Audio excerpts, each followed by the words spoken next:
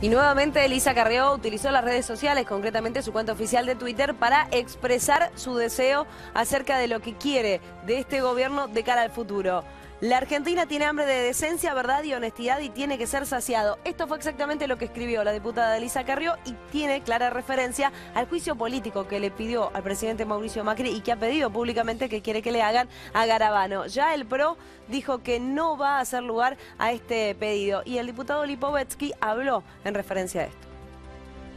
Elisa Carrió no se dio este fin de semana y ya prepara la presentación del juicio político al ministro de Justicia, Germán Garabano.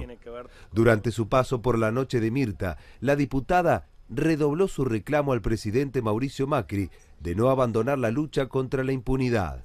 Estoy harta de que me digan que Cristina no tiene que ir presa para poder ganar las elecciones. La Argentina tiene hambre de decencia, aseguró la líder de la coalición cívica.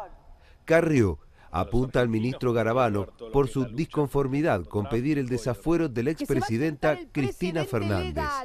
Este tema sigue abriendo una grieta dentro de la alianza gobernante.